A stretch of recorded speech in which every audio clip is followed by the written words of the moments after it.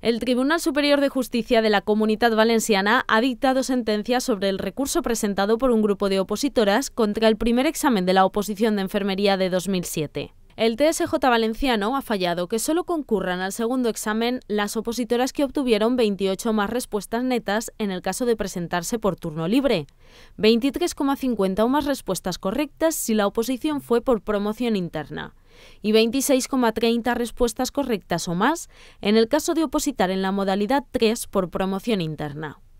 Los hechos se remontan al 30 de junio de 2013, cuando tuvo lugar el primer examen de la OPE 2007.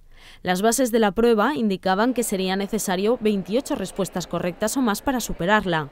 En la resolución del 30 de septiembre de 2013, el Tribunal del Concurso Oposición rebajó la puntuación de corte a un mínimo de 25 respuestas correctas. Una opositora recurrió ante el Tribunal Superior de Justicia valenciano, solicitando como medida cautelar la suspensión del segundo ejercicio, alegando no estar de acuerdo con la nota de corte. La sala del Tribunal Superior de Justicia de la Comunidad Valenciana tramitó entonces la petición de esta opositora y dictó la suspensión del segundo ejercicio.